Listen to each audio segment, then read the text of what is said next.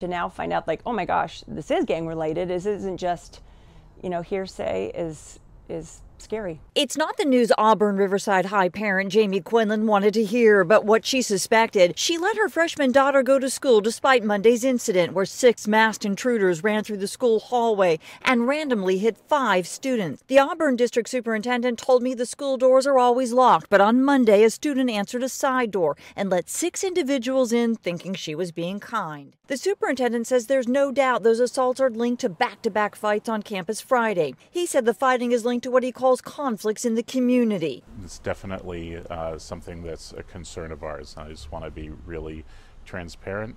We cannot have gangs in our schools. The group of six were wearing hoodies and masks. Staff confronted them, but they ran off. Auburn Riverside went into immediate lockdown. Auburn police had extra officers at the school, and in the meantime, school staffers are manning all school doors.